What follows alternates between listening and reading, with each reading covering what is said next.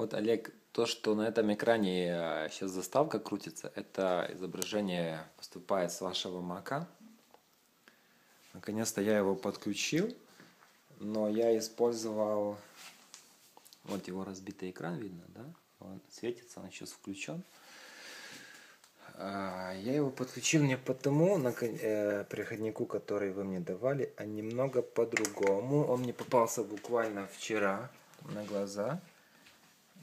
То есть у него окончание вот, окончание у него DVI, такое же, как и вход на мониторе. И, наконец, благодаря этому я его подключил, и он работает. Он показывает, вот сейчас бегает заставка. Вот если я пошевелю мышкой, то получится как бы фон.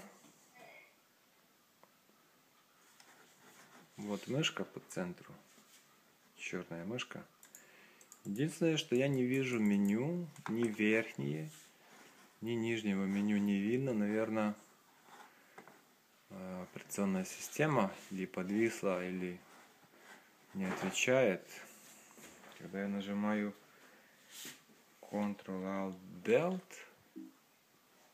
ничего не происходит, он что-то мяукает.